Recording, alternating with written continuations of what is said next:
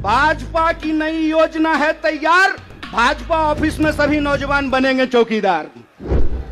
मंत्री का बेटा बनेगा बीसीसीआई का सेक्रेटरी और किसान मजदूर का बेटा बनेगा भाजपा ऑफ़िस में सिक्योरिटी गार्ड। हायरे हिपोक्रेसी। श्री श्री 108 श्री माननीय प्रधानमंत्री जी बोले थे कि हर साल दो करोड़ नौकरी दी जाएगी। क्या मीडिया वाले? मोदी जी बोले थे ना कि हम बोले थे बोले थे ना कि महँगाई कम होगी। बोले थे ना खाते में पंद्रह लाख रुपया आएगा। बोले थे ना अच्छा दिन आएगा। आया क्या? मोदी जी के स्टाइल में पूछूँ क्या? आया क्या? अंग्रेज़ों के चापलूसों से भी मुक्त कराएँगे। इस बात को याद रखिएगा। इस बात को याद रखिएगा कि आपने देश के साथ जो खिलवाड़ किया है, उस खिलवाड़ के खिलाफ हैं हम। उस खिलवाड़ के खिलाफ क्यों हैं हम? कि आपने इस देश को सपना दिखा करके, आपने इस देश के लोगों को उम्मीद जगा करके उनके साथ धोखा किया है। ये हम नहीं बोले थे। श्री श्री 108 श्री माननीय प्रधानमंत्री जी बोले थे कि हर साल दो करोड़ नौकरी दी जाएगी। क्या मीडिया वाले? मोदी जी बोले थे ना कि हम बोले थे। अरे बोलिए ना महाराज। आपको भी बोलना पड़ेगा, याद रखिएगा इस बात को। सबकी बारी आएगी, इस बात को याद रखिएगा। अरे, हमारे लिए क्या है? जब तक जेल में चना रहेगा, आना जाना लगा रहेगा, हमको कोई दिक्कत नहीं है। लेकिन बारी सबकी आएगी, इस बात को याद रखिएगा। कहे थे ना मोदी जी कि हर साल दो करोड़ रोज़गार देंगे? बोले थे कि नहीं बोले थे? अरे, बोलिए ना, आप कांग्रेस के कार्यकर्ता हैं, भाजपा के थोड़े हैं कि डर जाएँगे। बोलिए। बोले थे ना? बोले थे ना कि महँगाई कम होगी? बोले थे ना खाते में पंद्रह लाख रुपया आएगा? बोले थे ना अच्छा दिन आएगा? आया क्या? मोदी जी के स्टाइल में पूछूँ क्या? आया क्या? अब नया जुमला आया है। अब नया जुमला आया है कि हम अग्निपथ लेकर के आए हैं। एगो भाजपा का नेता ईमानदार है। कैलाश विजय वर्गीय को धन्यवाद देना चाहिए। कम से कम उसने इस देश के नौजवानों की शंका दूर कर दी। उन्होंने बता दिया, भाजपा की नई योजना है तैयार, भाजपा ऑफ़िस में सभी नौजवान बनेंगे चौकीदार। यही योजना है ना? लेकिन मैं कहता हूँ विजय वर्गीय जी, आपका बेटा बल्ला बहुत बढ़िया चलाता है। अफसर पे बैठ चला रहा था। उसको बीजेपी ऑफ़िस में क्यों नहीं सिक्योरिटी गार्ड बना देते हैं? मंत्री का बेटा बनेगा सेक्रेटरी। मंत्री का बेटा बनेगा बीसीसीआई का सेक्रेटरी। और किसान मजदूर का बेटा बनेगा भाजपा ऑफ़िस में सिक्योरिटी गार्ड। हायरे हिपोक्रेसी। इसी को हिपोक्रेसी कहते हैं ना? और बेईमानी किसको कहते हैं? देश की जनता को लगा कि जब मोदी जी बोल रहे हैं तो सच ही बोलेंगे। मोदी जी की हर बात को मान लिया देश के लोगों ने। मोदी जी ने कहा, दीपक जलाओ। तो देश ने दीपक जलाया। मोदी जी ने कहा, बत्ती बुझाओ। तो देश ने बत्ती बुझाया। मोदी जी ने कहा, थाली बजाओ। तो देश ने थाली बजाया। सब कुछ किया इस देश ने। लेकिन देश अब तक इंतज़ार कर रहा है कि मोदी जी जो हमको कहे थे, उसमें से एक भी चीज़ पूरा नहीं किए हैं। और ये देश की जो परिस्थिति है, इस परिस्थिति पे मुखर होकर के हमारे नेता बोलते हैं, इस बात का हमको गर्व है कि सरकार के सामने बिना झुके कोई लड़ता है अड़ करके तो उसका नाम राहुल गांधी है।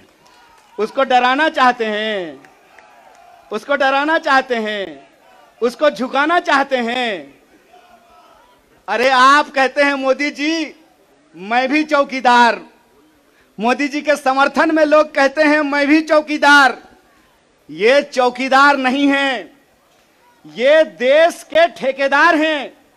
और ये देश के ठेकेदार कैसे हैं? क्योंकि इस देश के लोगों का, उनके भविष्य को ये ठेके पे कर देना चाहते हैं। ये जो अग्निपथ योजना है, इसकी मोटी मोटी बात आप समझ लीजिए।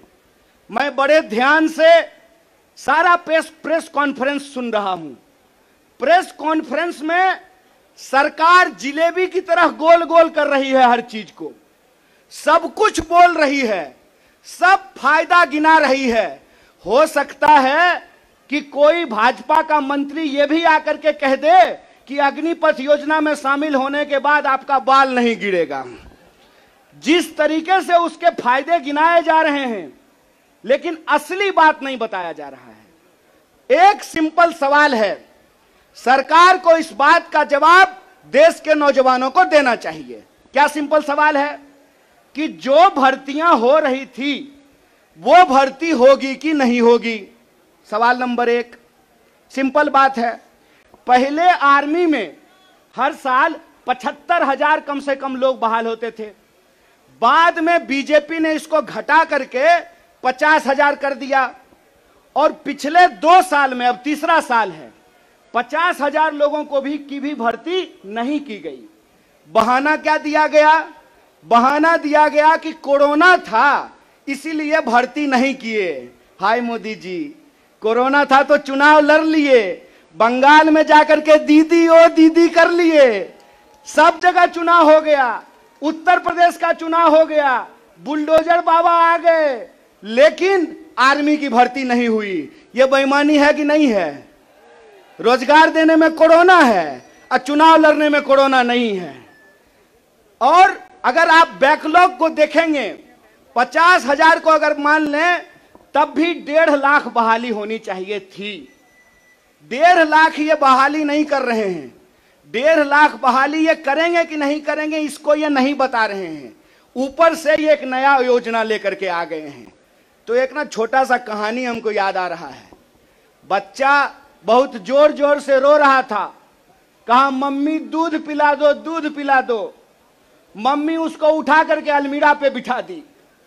बच्चा मम्मी को यह नहीं कहता है कि, मम्मी, दूध पिला दो। बच्चा चिल्ला चिल्ला करके कह रहा है कि, मम्मी, अलमीरा से नीचे उतार दो, नीचे उतार दो। लोग मांग रहे थे, हर साल दो करोड़ नौकरी। इन्होंने हर साल दो करोड़ नौकरी नहीं दी। ऊपर से एक नया योजना लेकर के आ गए हैं। पूरा का पूरा भाजपा के तंत्र को उसमें लगा दिए हैं कि आप बताइए कि अग्निपथ के क्या फ़ायदे हैं।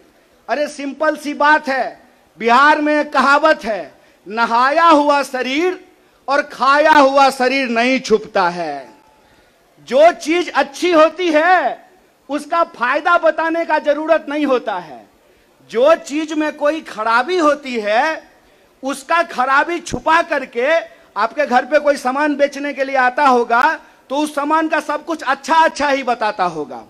आप ट्रेन में जब जाते होंगे, बस में जाते होंगे तो जब जूसर बेचने वाला आता है तो एक संतरा से आपको एक गिलास जूस निकाल करके दिखाता है।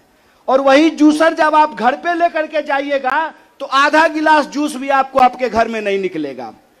ये जो बेचने की मानसिकता होती है, इस बेचने की मानसिकता के खिलाफ हैं। ये सत्याग्रह दो लोगों के बीच में है। जावेद अख्तर ने लिखा है, इस, एक हमारी, एक और उनकी मुल्क में है आवाज़ें दो। दो आवाज़ है। एक वो आवाज़ है जो इस देश को बेचना चाहता है। वो देश के सरकार में बैठे हुए हैं। एक वो आवाज़ है जो देश को बचाना चाहता है। वो सड़कों पे खड़ा है, वो जंतर मंतर पे बैठा हुआ है। वो सत्याग्रह कर रहा है। और ये सत्याग्रह हम इसलिए कर रहे हैं कि सरकार के झूठ को हम समझ रहे हैं। झूठ क्या है झूठ है कि ये लोग परमानेंट बहाली को बंद करने जा रहे हैं। परमानेंट बहालियाँ नहीं होगी। अगर ये परमानेंट बहाली करना चाहते हैं तो सिर्फ़ सेंट्रल गवर्नमेंट में 28 लाख पोस्ट खाली है।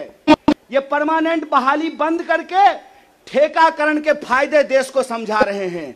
जब भी देश में कोई ठेकाकरण किया जाता है तो सिर्फ़ उसका फ़ायदा ही फ़ायदा बताया जाता है। जब भी देश की कोई सार्वजनिक संपत्ति बेची जाती है तो उसका फ़ायदा ही फ़ायदा बताया जाता है। लेकिन इस बात को याद रखिएगा कि देश में अगर सारी सार्वजनिक संपत्तियों को बेच दिया गया तो देश का क्या होगा? एक बार आप इस बात पे विचार कीजिएगा कि अगर एयर इंडिया नहीं रहेगा, अगर नहीं होगा एयर इंडिया तो क्या करेंगे ज्योति ज्योतिरादित्य सिंधिया? समझना है कि नहीं समझना है? आप हमको बताइए कि सरकारी रेलवे नहीं होना चाहिए, सरकारी बीएसएनएल नहीं होना चाहिए। इनके हिसाब से सेना में नियमित नौकरी नहीं होनी चाहिए। जब सब कुछ सरकारी नहीं होना चाहिए तो सरकारी प्रधानमंत्री लेकर के ढोल बजाएँगे।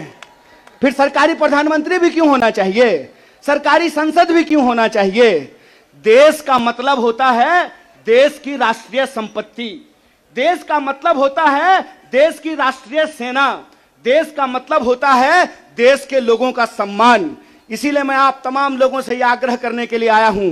कांग्रेस पार्टी की लड़ाई सिर्फ़ अपने नेता को बचाने की लड़ाई नहीं है कांग्रेस पार्टी की लड़ाई इस देश को बचाने की लड़ाई है। वो देश जिस देश को गांधी ने बनाया है जिस देश को नेहरू मौलाना अबुल कलाम आज़ाद ने बना, बनाया है उस देश को बचाने की लड़ाई है। कांग्रेस पार्टी को लेकर के भाजपा लगातार प्रचार करती है। कि अगर कांग्रेस किसी चीज़ का विरोध कर रहा है तो सही होगा। तो आप बताइए, हम भाजपा का विरोध करते हैं, देश के संविधान का समर्थन करते हैं, और उस संविधान को हमने बनाया है, कांग्रेस पार्टी ने बनाया है, इसीलिए कहावत कही जाती है, जाके पैर न फटे बिवाई, वो का जाने पीड़ पड़ाई। जो पार्टी देश को आज़ादी दिलाई है, वही पार्टी इस देश की आज़ादी की रक्षा कर सकती है। इसी आशा और उम्मीद के साथ कि सत्य और अहिंसा के रास्ते पर चलेंगे, सत्याग्रह के रास्ते पर चलेंगे, झूठ को हराएँगे। झूठ पे सच भारी है, सत्याग्रह जारी है, यह सत्याग्रह जारी रहेगा। बहुत बहुत शुक्रिया बहुत बहुत धन्यवाद।